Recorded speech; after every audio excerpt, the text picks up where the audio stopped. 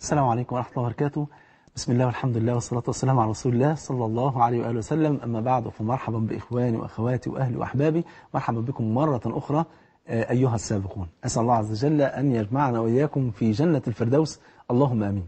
آه، ما زلنا في حديثنا عن السابقين آه، يعني من أصحاب النبي صلى الله عليه وسلم.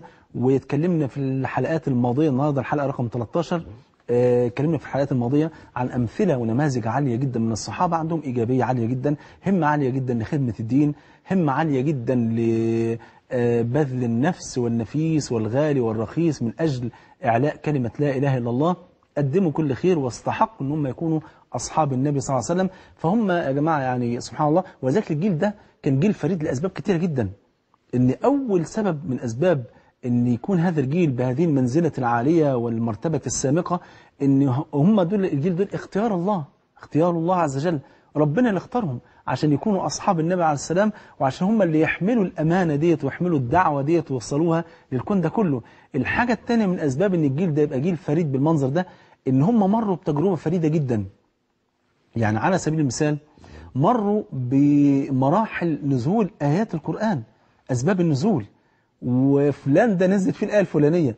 يعني على سبيل المثال كده عايزك تتخيل ال- ال- المرحلة العالية ديت. تخيل حضرتك لو إنك أنت مثلا مكان على سبيل المثال عبد الله بن أم مكتوم الذي نزل فيه قول الله عز وجل عبس وتولى أن جاءه الأعمى. النبي عليه بيكلم سادة قريش وجاله عبد الله بن أم مكتوم بيسأله في بعض الأشياء. النبي عليه يعني هو حد يقول النبي غلط صلى الله عليه وسلم. النبي اختار الأمر بخلاف الأولى بخلاف الأولى. صلى الله عليه وآله وسلم. فحس إن في الوقت دوت مش هينفع يكلم عبد الله بن مكتوم لأنه بيكلم سيد قريش ولعل وعسى إن يوافق في هذا الوقت ساعة يعني قبول للدعوة فتكون نصرة للإسلام إن سادة قريش يخشوا في الإسلام. فأعرض بعض الشيء عن عبد الله بن مكتوم فنزل قول الله عز وجل عبس وتولى أن جاءه الأعمى وما يدريك لعله يزكى. إلى آخر الآيات. فكان النبي صلى الله عليه وسلم كما آه، يعني جاء ذلك في بعض الروايات وإن كان ضعف بعض أهل العلم أنه كان إذا لقي عبد الله بن مكتوم يقول له أهلا ومرحبا بمن عاتبني الله فيه. تخيل حضرتك لو أنت مكان عبد الله ابن أم مكتوم.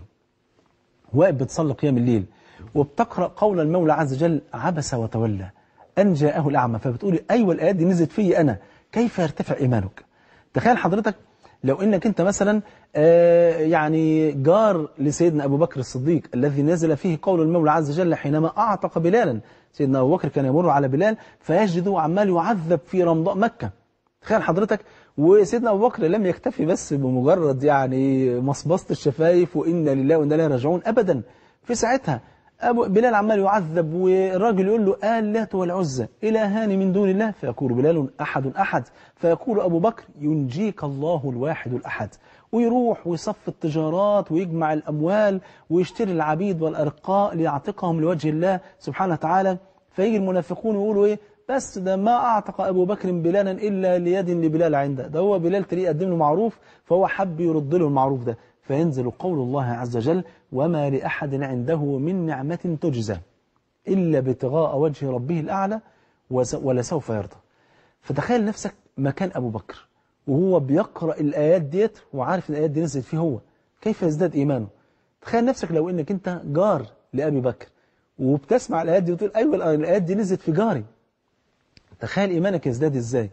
تخيل نفسك كده لما تكون مكان سيدنا زيد بن حارثة وهو الصحابي الوحيد الذي ذكر اسمه في القرآن صراحة. فلما قضى زيد منها وطرا يعني من زينب بنت جحش فلما قضى زيد منها وطرا زوجناكها.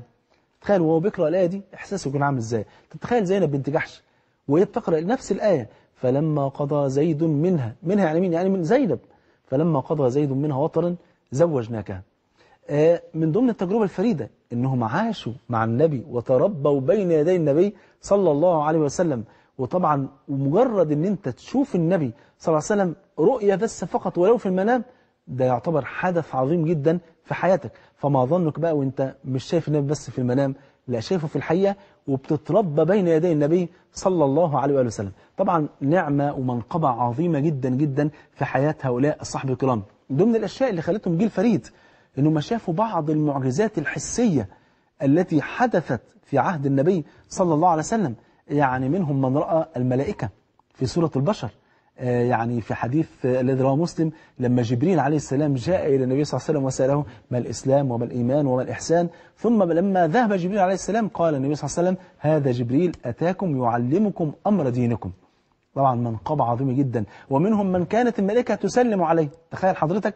آه في الحديث الذي رواه مسلم آه إن يعني أحد الصحابة آه رضي الله عنهم وأرضاهم ويعني لما بيحكي وبيقول إنه قد سلم عليه يعني لك أن تتخيل إن إن الصحابة هذا الصحابي الجليل كان عنده مرض معين كده وكانوا بيقولوا لابد أن تكتوي تعمل كي في المنطقة دي.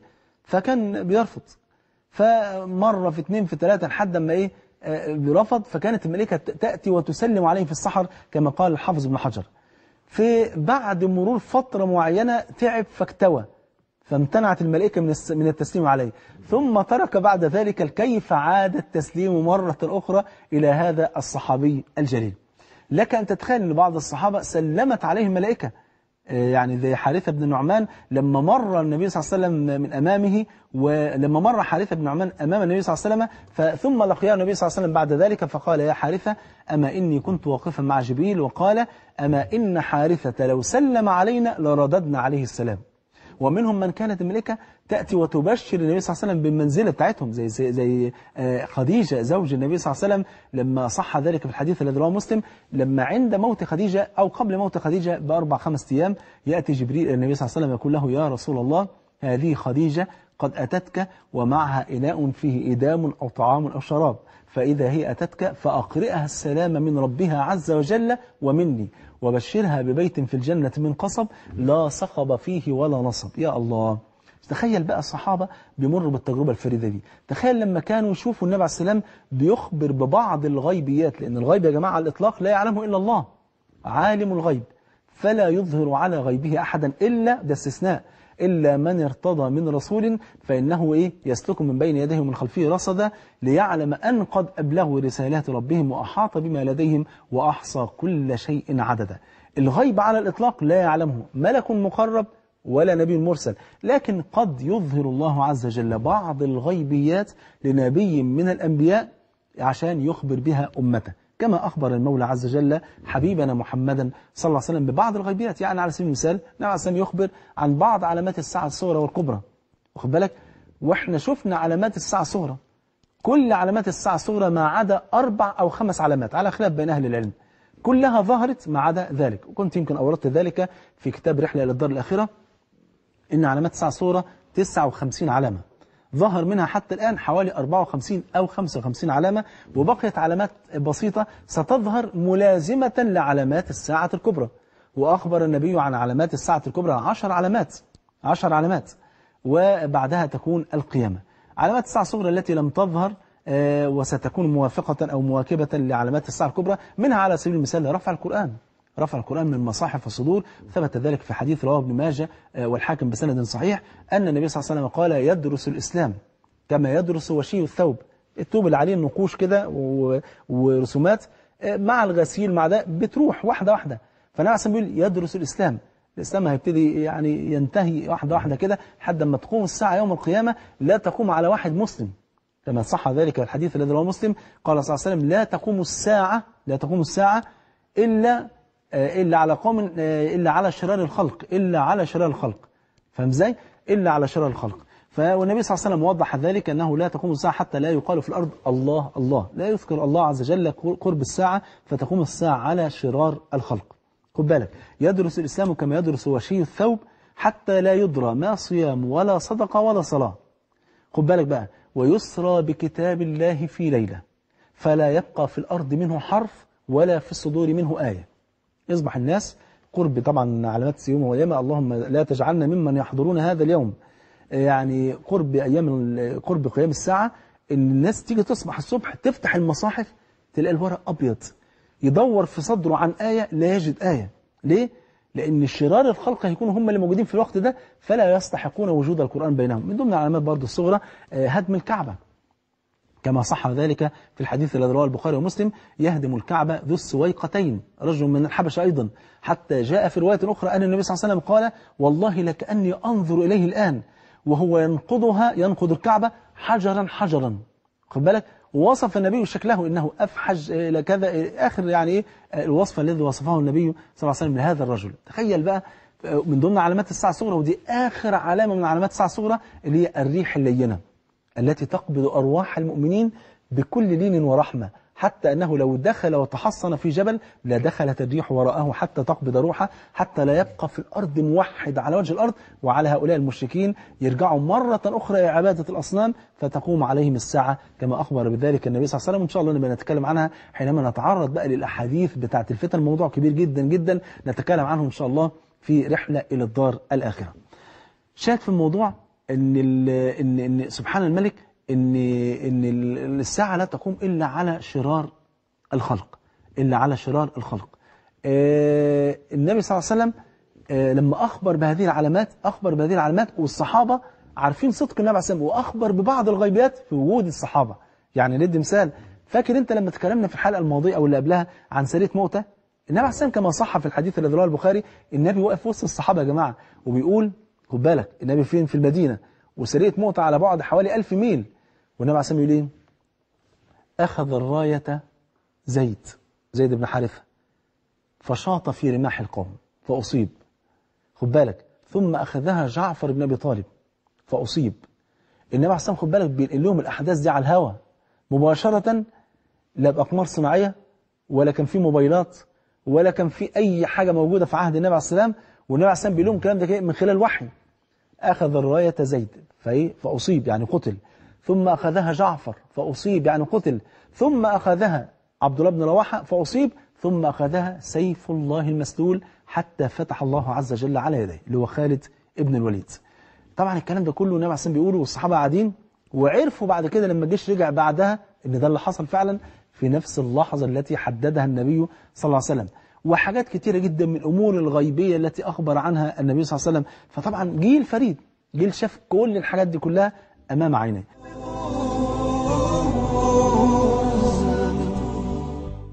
تعالوا نشوف من ضمن الحاجات الجميلة التي يعني عاشها الصحابة في إيجابية شديدة وعلو همة غير يعني فوق الوصف.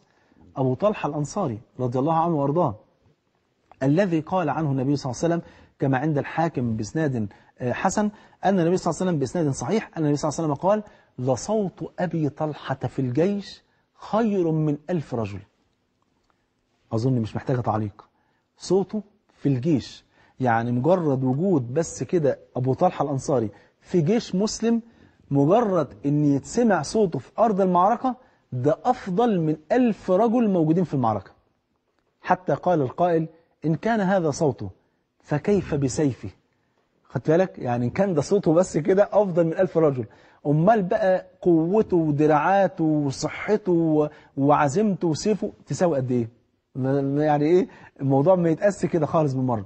تعالوا نشوف موقف تاني من مواقف الصحابة رضي الله عنهم وارضاهم شباب الصحابة عشان الهمة تعلو مرة بعد مرة. يعني إحنا دلوقتي اقتربنا على منتصف شهر رمضان وعايزين الهمة تعلو أكتر وأكتر. إن كنت في أول رمضان قدرت إن ربنا يكرمك وتختم القرآن في ثلاث أيام عايزينك تختمه في يومين. عايزينك في النص الثاني تختمه كل يوم. عايزينك تختمه كل يوم مرتين. اجتهد. اجتهد وما فيش حاجة أبدا صعبة وإنه ليسير على من يسره الله عز وجل عليه. ولقد يسرنا القرآن للذكر. وإحنا شفنا ناس كتيرة جدا بفضل الله سبحانه وتعالى. أنا أعرف شاب من الشباب بفضل الله قدر يختم القرآن في رمضان 30 مرة. 30 مرة. واتصلت بي أخت والله من دبي. أقسمت بالله أنها ختمت القرآن في رمضان قبل اللي فات ده 26 مرة. فالأمر يسير يا جماعة وإحنا عارفين إن شهر رمضان ده شهر القرآن ولذلك إن بعض الناس لما تقول إيه بس النبي عليه الصلاة قال يعني إن القرآن لا يفقه القرآن من ختمه أو من قرأه في أقل من ثلاث أو لك صح. لكن علق الإمام الذهبي ووضح ذلك حينما قال ولكن لله مواسم للطاعه فشهر رمضان هو شهر القرآن كما قال الإمام الزهري رحمه الله رحمة واسعة إذا جاء شهر رمضان فإنما هو قراءة القرآن وإطعام الطعام. كانوا مكرسين حياتهم كلها في شهر رمضان ده لقراءة القرآن ومدرسة القرآن رضي الله عنهم وارضاهم. حتى كان جبريل عليه السلام يدارس القرآن مع النبي صلى الله عليه وسلم في شهر رمضان. وكان من ضمن العلامات التي أشارت التي أشارت إلى قرب انتهاء أجل النبي صلى الله عليه وسلم إن جبريل في العام الذي مات فيه النبي صلى الله عليه وسلم دارس النبي صلى الله عليه وسلم القرآن مرتين. خدت بالك؟ فده كان من ضمن علامات قرب انتهاء أجل النبي صلى الله عليه وآله وسلم. تعال نشوف مثل تاني جميل جدا. الزبير ابن العوام حواري النبي صلى الله عليه وسلم. الزبير بن العوام في فتح مصر. طبعا سيدنا عمر الخطاب بعت عمرو بن العاص علشان يفتح بلاد مصر. وكان فتح بلاد مصر كانت بركة على أهل مصر. سيدنا عمرو بن العاص راح يفتح بلاد مصر كان الجيش متحصن في حصن بابليون. جه يفتح الحصن ما عرفش يعمل إيه راح بعت ورقة لسيدنا عمر بن الخطاب أريد منك أن ترسل لي أربعة آلاف رجل. خد بالك عمر بن الخطاب عمل إيه؟ راح باعت له فعلا 4000 رجل ومعاهم رسالة. وصلت الرسالة لعمرو بن العاص فتح الرسالة لقى من أمير المؤمنين عمر بن الخطاب إلى عمرو بن العاص. سلام الله عليك ورحمته وبركاته. أما بعد فلقد أرسلت إليك أربعة آلاف رجل على رأس كل ألف رجل رجل بألف رجل. واضح الكلام؟ بيقول أنا بعت لك أربعة آلاف على رأس كل ألف في واحد. الواحد ده بالألف اللي وراه. كان من ضمنهم مين؟ الزبير بن العوام. الزبير بن العوام خد بالك من حاجة أمير المؤمنين عمر بالبلدي كده مش أي حد يعجبه يعني. يعني عمر بن الخطاب معروف إن هو عمر. يعني مش أي حد يدخل دماغه فكون إن يقول لك إن الزبير بن العوام بألف رجل يبقى عندنا إحنا بمليون صح ولا لأ؟ آه يعني الزبير بن العوام ده حاجة تانية خالص يعني الزبير بن العوام عمل إيه يا جماعة في فتح مصر؟ والله العظيم موقف يعني لولا صحة النقل ما, ما كانش حد يصدق الكلام ده أول ما وصل لقى الجنود واقفين في إيه؟ ابدا ده الناس جوه الجيش المصري يعني متحصن جوه حصن بابليون قال لهم بس خلاص مفيش غير حاجة واحدة بس تعملوها إيه هو إيه يا زوير؟ قال لهم بس هاتوا سلم وحطوه ووصلوه لحد آخر الحصن وطلعوني على السلم ده ورموني جوه. بس وخلصت المسألة. نرميك فين؟ جوه جيش؟ آه مالكوش دعوة. يعني ده جيش يعني جيش دولة. واخد بالك؟ يعني واحد عايز يترمي في وسط جيش دولة. مالكوش دعوة بس أنتوا اعملوا كده ومالكوش دعوة. بالفعل طلعوا الزبير بن العوام فوق الحصن بتاع بابليون وراحوا راميينه جوه الحصن. لك أن تتخيل أنت بتقرأ الرواية ديت وبتعدي عليك كده آه يعني دخل نط فوق الحصن ونزل وخلاص وفتح الباب وانتهت المشكلة. لا أنا عايزك بس تفكر بس في موضوع كويس. اولا الحصن عالي جدا جدا فهينط وهو نازل في وسط جيش. الجيش ده يقدر بالآلاف خد بالك. فوق ده كله هو راجل لوحده. فوق ده كله المكان عالي يعني ممكن ينزل يموت في ساعتها من غير ما يقاتل ولا حاجة لا. نزل قفز الزبير بن العوام بعد أن سمى الله عز وجل وتوكل على الله نزل وقفز. أول ما قفز مسك السيف وظل يقاتل من خلف الحصن الجيش اللي خلف الحصن. يقاتل ده ويضرب ده ويعور ده ويقتل ده لحد ما وصل للباب وراح فتحه. أول ما فتح الباب يا جماعة وفتح الحصن دخل الجيش المسلم. قتال قتال ما شاء الله لحد ما انتصروا. وفتحت مصر بفضل الله سبحانه وتعالى وكان دخول عمرو بن العاص ومن معه من المؤمنين كان بركة على أهل مصر حتى يسلم كل مصري على أرض مصر. يعني سبحان الله إسلام كل من أسلم على أرض مصر في ميزان حسنات عمر بن الخطاب ومن قبل ذلك النبي صلى الله عليه وسلم ثم عمر بن الخطاب ثم عمرو بن العاص ثم الزبير بن العوام ثم من كان معه من المجاهدين في هذا الوقت بفضل الله سبحانه وتعالى. لدرجة أن كان من ضمن الحياة الجميلة جدا التي كانت بركة من بركات دخول عمرو بن العاص إلى بلاد مصر إن كان من عادة أهل مصر في هذا الوقت إن كان لما بيجي شهر بقونة شهر من أشهر العجم. كانوا يعملوا إيه؟ كان النيل نهر النيل يعني كان بينزل لدرجة أن خلاص يكاد أن يكون ما فيش مياه خالص في النيل. كانوا يعملوا إيه؟ كانوا يجيبوا جارية جميلة يشتروا بنت يعني جميلة جدا من بين أبويها. يشتروها مثلا بكام؟ ب 2000 3 ب 100000 ب 200000 يعني كانوا بيغرقوهم فلوس. ليه؟ لأن الجارية دي هتموت. كانوا بيروح الواحد مثلا يلاقوا بنت جميلة كده يقولوا له طب إحنا عايزين نشتري بنتك. بكام تبيعها مثلا ب 100000 ب 200000 فيشتروها. ويمسكوا البنت ديت ويخلوها كل جسمها ده كله متغطي بالذهب. يجيبوا العقود الذهب والسلاسل والأساور ومش عارف إيه ويحلوها كلها بالذهب ويرموها في نهر النيل حية عشان يرضوا نهر النيل. تخيل؟ يعتقد ان نهر الدين نهر النيل غضبان فعشان كده نزلت الميه بتاعته. فلما نديله عروسة جميلة وكده ومليانة بقى بالحلي والذهب والمجوهرات أكيد نهر النيل هيرضى عننا فالميه بتاعته تطلع. وكان من ضمن الفتن العجيبة إن كان فعلا النهر كان بيطلع. ده فتنة ليهم عشان يستمروا على هذا البعد عن الله سبحانه وتعالى. لكن لما دخل عمرو بن العاص فجه وهو قاعد في مصر وصل الأمر إن هو وصل لحد شهر بقونة فلقى الناس النهر نزل والناس في غاية الحزن ومتضايقين وتعبانين وطبعا الناس مش عارفة تعيش من غير المية ديت ففجأة لقى الناس جم قاموا جايبين جارية واشتروها من أسرتها ودفعوا ثمنها غالي جدا وبدأوا يغطوها بالذهب. فبيقول لهم عمرو بن العاص بتعملوا إيه؟ فقالوا يعني ده عادة لينا كأهل مصر إن إحنا في الشهر دوت بنجيب البنت ديت وأي بنت يعني بنشتريها ونغرقها دهب ونرميها للنيل عشان النيل يرضى عننا ويفيد المال المية بتاعته علينا. فعمرو بن العاص استغرب الفعل ده وقال ولكن هذا لا يكون في دين الله. الكلام ده يا جماعة إحنا أهم حاجة عندنا العقيدة عقيدة المسلم. فالكلام ده لا يكون في دين الله والكلام ده ممكن يكون فيه إشراك بالله سبحانه وتعالى. نحن نعتقد أن النيل ده بينفع أو يضر من دون الله سبحانه وتعالى. ولكن انتظروا حتى أرسل إلى أمير المؤمنين عمر.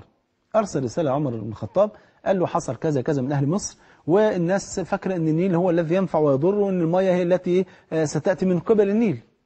فعمر الخطاب بعت له رسالة قال لقد أنصفت يا عمرو اللي أنت عملته ده هو عين العقل وسأرسل إليك رسالة فإذا وصلتك رسالة ستجد فيها بطاقة فألق هذه البطاقة في نهر النيل. عمرو بن العاص جات له رسالة من عمر الخطاب فلقى مكتوب فيها من عبد الله عمر بن الخطاب إلى نيل مصر. يا الله! عمر بن الخطاب بيكلم نيل مصر. من عمر بن الخطاب إلى نيل مصر. أما بعد خد بالك بقى إن, إن كنت إنما تجري من قبلك فلا تجري. كنت أنت يعني بقى اللي بتجيب لنا المية وبتعيشنا وأنت يعني اللي بتعملها معانا جدعانة يعني فمش عايزين منك لا مية ولا أي حاجة. إن كنت إنما تجري من قبلك فلا تجري. وإن كان الله عز وجل فاطر السماوات والأرض هو الذي يجريك فأسأل الله جل وعلا أن يجريك. عمرو بن العاص قرأ البطاقة وراح رميها في النيل. بسم الله وراح رمي البطاقة. أهل مصر لما عمرو بن العاص منعهم إن هم يرموا الجارية ديت في النيل تاني يوم راحوا مجهزين المخالب بتاعتهم والشيل بتاعتهم وطالعين بره أرض مصر عشان يشوف أي مكان تاني يعيشوا فيه. جهزوا المخل من بالليل والشيل من بالليل وخلاص معزلين تاني يوم الصبحية بعد صلاة الفجر مباشرة راحوا يبصوا على النيل لقوا النيل فاض الماء بتاعه 16 متر. يا الله إيه ده؟ إيه اللي حصل؟ اللي حصل؟ حاجة واحدة. أن من أطاع الله طوع الله عز وجل له الكون كله. يا جماعة أنتم فاكرين يوم ما سعد بن أبي وقاص والكلام ده كان أيضا كان في عهد عمر الخطاب. سعد بن أبي وقاص لما كان رايح يفتح آه، في معركة القادسية رايح يقاتل الفرس في بلاد آه، العراق. فلما وصل إلى نهر دجلة فلقى السفن بتاعت الفرس كانت راسية على الشط. الفرس لما شافوا سعد بن أبي وقاص جاي من بعيد على طول راح حلوا الحبال وراح إيه ماشيين بالسفن وعدوا الناحية التانية. طب سعد بن وقاص ليس معه سفن هيعمل إيه؟ يتصرف إزاي؟ طب لو رجع معذور. يا جماعة معيش سفن. والفرس خلاص هربوا مننا هنعمل إيه؟ لكن لا. شوف العزيمة وشوف الثقة واليقين والتوكل على الله. قال سعد بن وقاص للجيش إني عزمت على أمر. قالوا على أي شيء عزمت؟ عزم الله لك على الرشد. اللي أنت هتعمله إحنا معاك. قال إني عزمت على على أن أعبر هذا النهر بالخيول. طبعا بقى لو كان في الزمن ده وقائد جيش بيقول للجيش إن شاء الله يا جماعة إحنا هنعبر على النهر ده إن شاء الله بالإيه؟ بالخيول. طب جزاك الله خير يا سعد ربنا يبارك فيك يعني إن شاء الله مع ألف سلامة وبطمن عليك يعني رنة كده بالموبايل مسد كول ولا رسالة ولا حاجة إن شاء الله نطمن عليك. صح ولا لأ؟ لأن ما حدش متخيل إن أنا أعبر النهر ده بالخيل. فاهم إزاي؟ لكن لأ شوف اليقين اللي في قلوب الصحابة.